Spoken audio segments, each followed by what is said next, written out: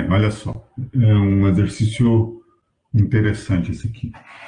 Ele pede para você, você tem um ângulo em, em radianos e pede para você fazer uma conversão não só em graus, em graus, minutos e segundos. É, então vamos, vamos ver o seguinte. É, um grau é igual a 60 minutos. Ou seja, é, na verdade, um grau é uma parte dentro é, 360. Então, numa volta completa, 360 graus, se eu dividir é, esse círculo em é, 360 partes, cada partezinha ali do ar mede um grau. Agora, se eu subdividir um grau em 60 partes, cada um daquele é um minuto. Então, um minuto é equivale a 60 segundos. Isso é a mesma ideia quando você compara, compara também é, horas, né? As horas do ponteiro do relógio ali, as horas, né? 60 minutos, 60 segundos, é a mesma ideia. Um grau, 60 minutos, um minuto, 60 segundos. Então, um grau vai ter 3.600 segundos, né? Que é 60 vezes 60. Vamos lá, como, como que a gente vai fazer? Então, vamos ter que fazer aqui uma regra de 3, tá? Porque 17 sobre 5 não é múltiplo daqueles ângulos conhecidos, fundamentais, 45 e 30 graus. Então, vamos fazer assim, ó. Pi radianos equivale a 180 graus. O ângulo dado aqui em radianos é 17 sobre 5. 17 sobre 5 radianos. Isso eu quero achar, é, eu vou fazer assim, ó. Esse x aqui, na verdade, ele está em graus, só que a gente tem que achar em graus, em minutos e em segundos. Vou botar assim, o nosso x. Então, vamos lá. x multiplica π, né? Então, aqui, ó, se isolar o x, 180 graus, vezes 17 sobre 5. Aqui dá para simplificar. Isso dividido por π, né? Porque o π multiplica x aqui, mas o π fica aqui no denominador. Agora, esse π aqui, eu não vou colocar o π substituir como se fosse π radianos. Eu não vou fazer isso. Aqui, gente, é como se é, essa unidade de medida cancelasse aqui, tá? Então, eu não vou botar aqui pi radianos. É só pi aqui. Então, esse pi aqui, eu tenho que substituir o valor que foi é, acusado aqui. Ó. Eu vou substituir por 3,1416.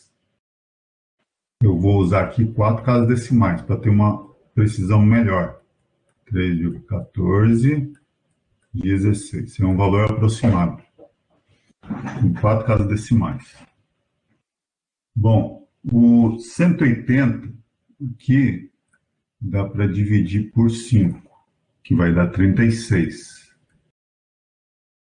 36 vezes 17. Opa, deixa eu apagar isso aqui. 36 vezes 17 dá 612.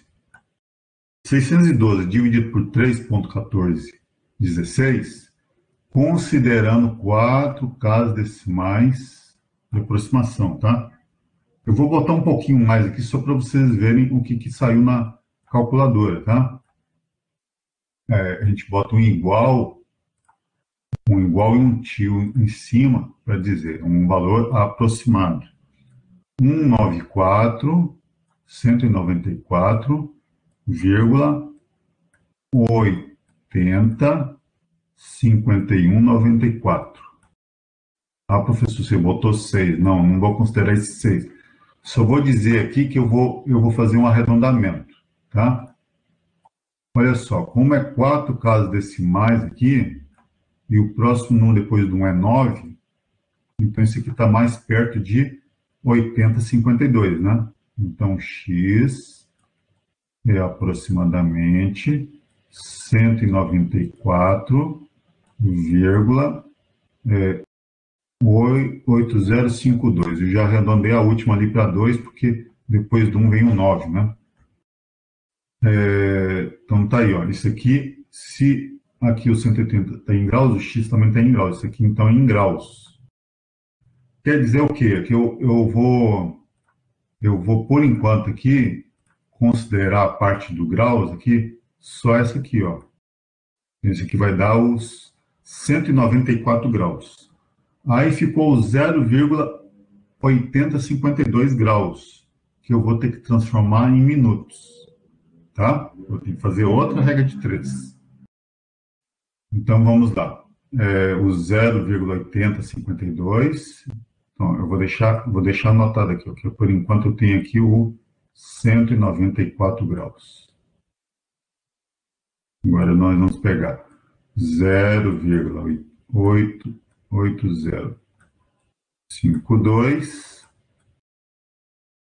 Isso equivale, eu vou chamar de y, tá? Para não misturar aqui, eu já chamei de x em cima. É, isso aqui, isso aqui é em graus, tá? Então, vou botar aqui 1 grau. 1 grau tem 60 minutos. Então, y é 60 vezes 0,80, é, vou botar aqui, 60 vezes 0,8052.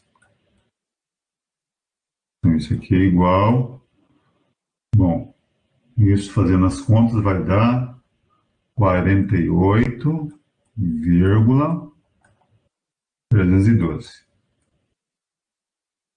isto é em minutos. Bom, eu tenho aqui 48 minutos, mas vai ficar faltando 0,312 minutos, que eu vou ter que transformar em segundos. Vamos deixar aqui anotado o nosso próximo valor, que aqui é o 48 minutos. Deixa aqui anotadinho. 48 minutos. Vou deixar aqui indicado aqui.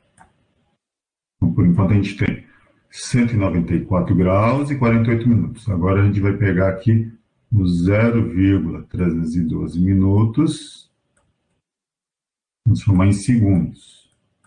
Já chamei XY, vamos chamar isso aqui de Z. Aqui é 1 minuto, é 60 segundos. Tá? Então, Z é igual a 60 vezes 0,312. 60 vezes 0,312 vai dar 18,72 segundos. Bom, professor, aí eu tenho que considerar só a parte inteira? Sim só a parte inteira. Esse aqui é os 18 segundos. Porque o problema, eu não vou Por que, que eu vou desprezar os 72? Porque é, não foi pedido aqui em décimos de segundo, décimos de segundo, centésimos de segundo, porque a partir do segundo a gente já divide né, por 10, por 100 assim por diante. Tá? Então, ele foi dado, pedido só em graus, minutos, segundos. Então, a gente para por aqui, ó. 18 segundos. Então, a gente tem aqui a resposta. Então, o nosso x inicial ali. Então, 194 graus, 48 minutos, 18 segundos. 194 graus, 48 minutos, 18 segundos.